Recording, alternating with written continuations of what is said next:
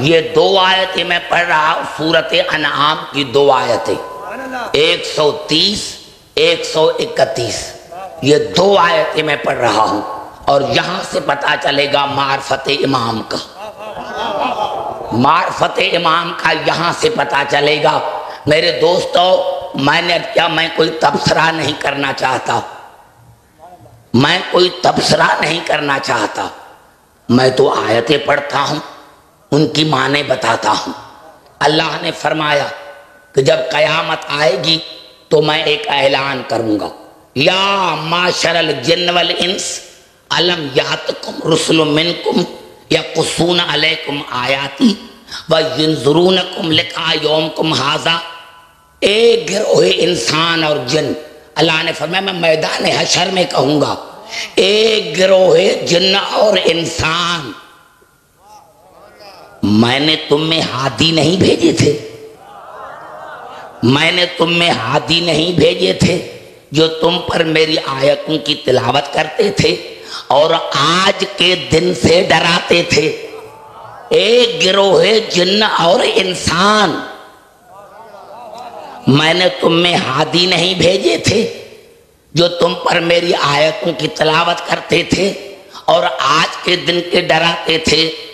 कालू शहदना अला अनफुसना व गर्रत हयात दुनिया। व शहदू अला अनफुसम अन्न हम कानू काफरीन। तो वो अपने नफ्स के खिलाफ गवाही देंगे कि या अल्लाह हाँ तुमने भेजे थे, लेकिन हमें दुनिया की जिंदगानी ने गुमराह किया। और वो कहेंगे, या अल्लाह, हमें पता था हम उस वक्त काफिर हो गए थे। जब हमने आपके हादी को नहीं माना था। अन्न हम कानू काफरीन, हम उस वक्त ही समझ गए थे कि हमने जब आपके हादी को नहीं माना तो हम उस वक्त ही काफिर हो गए थे।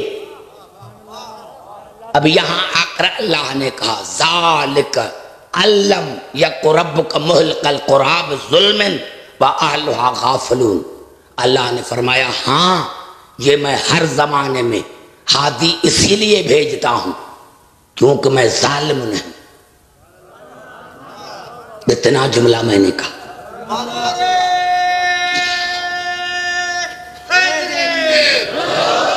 शायद मैं कबला समझा ना सका। अल्लाह ने क्या फरमाया, ए जिन और इंसान के गिरोह क्या तुम्हें मैंने हादी नहीं भेजे थे? मुसलसल हादी नहीं भेजे थे, जो तुम पर मेरी आयतों की तिलावत करते थे और आज के दिन से डराते थे। तो वो अपने नफ्स के खिलाफ गवाही देंगे, कहा, या अल्लाह, हम तो उस वक्त ही काफर हो गए थे, जब हमने आपके हादी को छोड़ दिया था। यहाँ हादी को छोड़ा, यहाँ काफिर हो गए। नहीं, मैं नहीं समझा। मैं नहीं समझा सका हूँ। यहाँ हादी को छोड़ा, यहाँ काफिर हो गए। अब आइए फिर कुरान की तरफ़, फिर इस आयत की तरफ़ आना चाहता हूँ। फिर इस आयत की तरफ़ आना चाहता हूँ। व इज़ कुलना लिल मलायकूल आदम, फसजदू इल्ला इबलीस अबा। वस्तकबर वकान मिनल काफरीन। अल्लाह ने तमाम मलाइका को कहा कि आदम को सजदा करो। सबने सजदा किया। इल्ला इबलीस अबा। इबलीस ने अबा कहा। अनकर नहीं। पूरे कुरान में अनकर नहीं। अबा है। अब मुझे बताओ इनकार में और अबा में फ़र्क क्या है? इनकार किया जाता है जबान से। आपने कोई काम कहा, मैंने कहा नहीं। और अबा की क्या माने हैं? सर को हिलाना।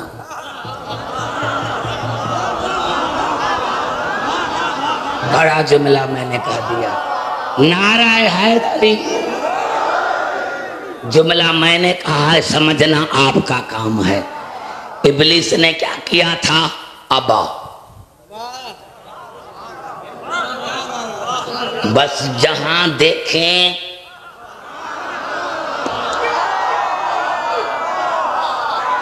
नाराय है हैदरी।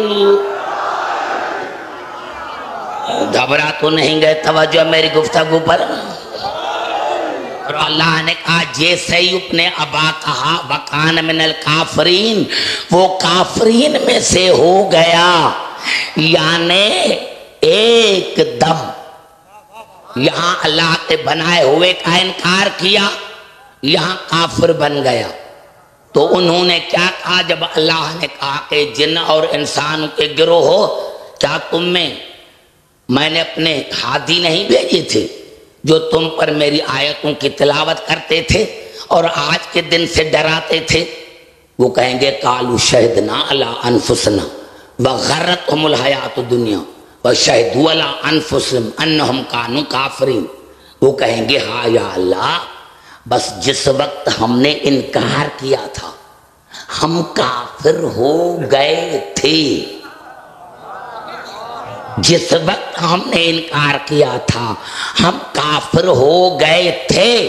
बस ये उनके अल्फाज थे, या अल्लाह ने कहा जालिक। अल्लम या कुरब कमल कल कुराब अहलहा गाफलून। तुम्हें पता है कि ये मैंने हर जमाने में और दौर में हाथी क्यों भेजा? इसलिए कि मैं जालिम नहीं। मैं जालिम नहीं। कि बगैर हादी के किसी को सजा दूँ। शायद मैं नहीं समझा सका। अल्लाह ने फरमाया, हर जमाने में मैं हादी इसीलिए भेजता हूँ कि मैं जालिम नहीं। क्यों? अगर बगैर हादी के किसी को सजा दूँ तो ये जुल्म है। मुसलमानों, अभी आओ हमारे करीब, का आज अगर अल्लाह का हादी नहीं और कयामत में अल्लाह हमें सजा दे।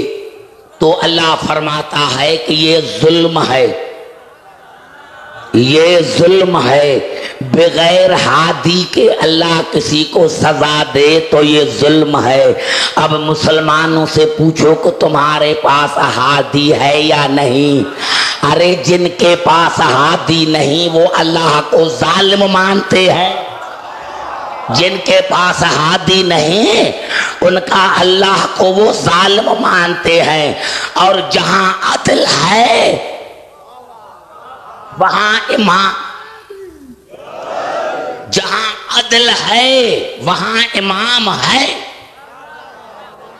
घबरा को नहीं गए, तवज्जो मेरी गुफ्तगु पर। जहाँ जहाँ जहाँ अदल है वहाँ इमाम है। घबरा तो नहीं गए, तवज्जो मेरी गुफ्तगु पर। अब एक जुमला करना चाहता हूँ का आज भी हाथी है। अगर हाथी नहीं तो फिर अल्लाह ने फरमाया, मैं जालिम हूँ। अब अगर तुम पर खुदा, तुम पर तुम्हारा खुदा पर यकीन है तो तुमको मानना पड़ेगा कि हाथी है। और हाँ मेरे दोस्तों, मेरे बुज़ुर्गों, इसीलिए हमारे जो उसूल दीन हैं, वो क्या है?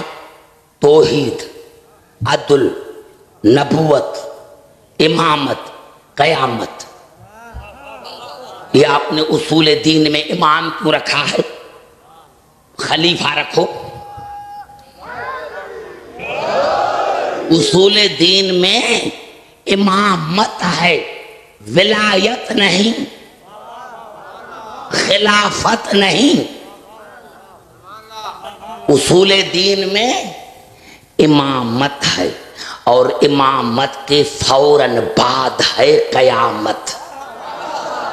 मैंने बड़ा जुमला कर दिया है। इमामत के बाद फ़ौरन है।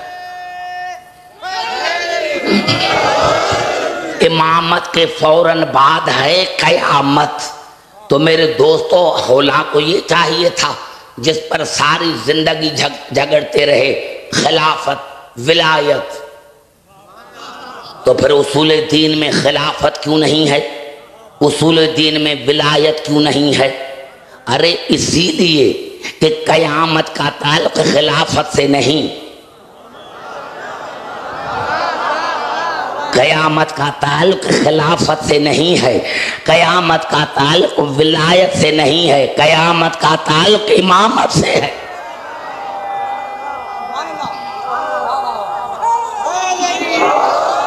कयामत का ताल्लुक इमामत से है। क्योंकि अल्लाह ने खुद कुरान में फरमाया, यौमा नदू कुल्लनासम भी इमाम है कयामत के दिन हर इंसान को बुलाया जाएगा। अपने इमाम के पीछे। लेकिन ये तर्जुमा मैंने ऐसे ही कर दिया, हालाँकि ये तर्जुमा गलत है। मैंने अपने लिए सवाल पैदा किया। यौम नदू कुल्लासम बेमाम है। कयामत के दिन हर इंसान को बुलाया जाएगा। अपने अपने इमाम के साथ। बड़ा जुमला है। बड़ा जुमला है। गौर करें इसी पर। अब आइए मेरे दोस्तों, मेरे बुजुर्गो। अली के लिए रसूल ने फरमाया, या अली, अंत कायदुल गुर्रल और कुरान में अल्लाह ने फरमाया, सूरत काफ में वजात कुल नफसिन माहा साकुन शहीदुन। कयामत के दिन हर नफ्स आएगा, अपने शहीद और साइक के साथ। अली साइक नहीं, अली कायद है। कायद उसी को कहते हैं जिसके हाथ में अलम हो। लाठी नहीं, खुद आगे मानने वाले पीछे। बस ये फ़र्क है आदम से लेकर ईसा तक नबियों में और अली में।